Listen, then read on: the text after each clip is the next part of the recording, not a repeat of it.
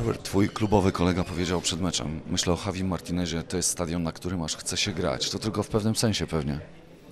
Czy na pewno atmosfera dzisiaj e, była widoczna i była gorąca, więc myślę, że było fajne spotkanie. Szkoda, że nie udało nam się bramki strzelić. Tutaj na pewno chcieliśmy to zrobić.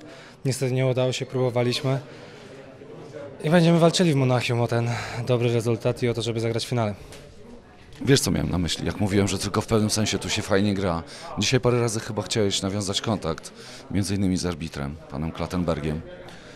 Nie, wi- wiadomo, trzeba, trzeba, trzeba zwrócić uwagę, żeby sędzia zobaczył, że, że przeciwnik próbuje blokować rękami nieprzepisowo, dlatego bardziej Za, za twardo dzisiaj było? Za mocno z ich strony twoim zdaniem? Nie, nie, nie, ale chodzi czasami o takie, nie to, że twardą grę, tylko trzymanie bardziej i to, to, to jest co innego niż twarda gra, więc e, no, często tak się zdarza, często obrońcy próbują jakoś em, przytrzymać napastnika przy sobie i właśnie mm, to tak nie do końca jest zgodne z przepisami, no bo wiadomo, że próbuje szukać miejsca, próbuje uciekać, próbuje uciekać a od nich, a jednak nie mogą, otrzymają mnie, więc e, czasami trzeba zwrócić uwagę, żeby sędzia właśnie zwrócił uwagę na to, ale wydaje mi się wiadomo, no to sędzia z Anglii, więc czy ja wiem, czy był wtedy twardy mecz, na pewno no, to był normalny mecz piłkarski, więc każdy z nas chciał walczyć o każdy mecz i tak jak powiedziałem, no szkoda, że nie udało nam się strzelić bramki, bo w drugiej połowie już em, graliśmy to, co powinniśmy. W pierwszych 15 minutach no to Atletico nas tak naprawdę mm, przycisnęło, strzeliło bramkę i my mieliśmy trochę problemów, żeby cokolwiek zrobić.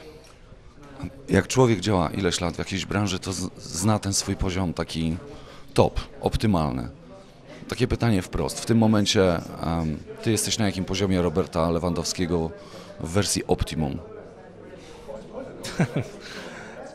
ciężko powiedzieć. No, mm, każdy mecz jest inny i jedna sytuacja może odwrócić e, wszystko i za chwilę się okaże, że będę na tym swoim topie. E, Więc e, wiadomo, no, czasami są mecze, gdzie nie wszystko wychodzi, czasami wychodzi, czasami się dobrze gra, nie strzela bramki, czasami słabiej się gra, strzela bramki, czasami się dobrze gra i strzela bramki, więc to jest piłka nożna i mm, wiadomo, że jak w każdym meczu próbuje coś dać drużynie, próbuje coś od siebie dołożyć, ale Wiadomo, że mm, nie zawsze to tak wychodzi, jakby się chciało, ale mamy u siebie mecz i na pewno u siebie mam nadzieję, że powalczymy i, mm, i już będziemy dużo, dużo skuteczniejsi niż dzisiaj. Ostatnie pytanie. Dzisiaj zginęliście od broni Atletico, którą znaliście najlepiej? Od tej em, najbardziej charakterystycznej dla drużyny Simeone, czy coś was może innego zaskoczyło? No kilka razy, pomimo to, że widzieliśmy, że grają długą piłkę na przebitkę, przedłużenie, e, to oni zbierali tę piłkę, e, te piłki, stwarzali sytuację i no, czasami jest to ciężkie, bo wbrew pozorom może być dobrze ustawiona, ta piłka i tak nie poleci tam, gdzie, e, gdzie ty jesteś ustawiony, tylko pod nogi przeciwnika, więc no, to jest Atletico i z drugiej strony ten dzisiaj mecz e, dla nas na pewno będzie cennym doświadczeniem przed tym rewanżem.